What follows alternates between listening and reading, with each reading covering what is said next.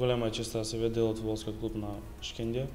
Значи, моментален актуелен шампион и освојач на македонскиот куп.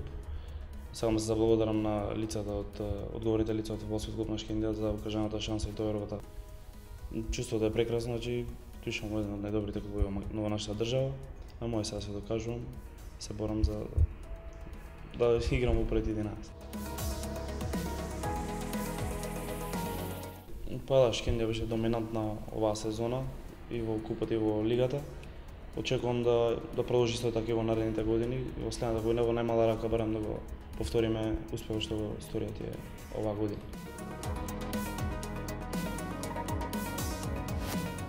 Па да, знам дека во Шкендија имаат одлична публика, имаат верни навијачи, како и неутралната публика, секогаш стадионот е испунет.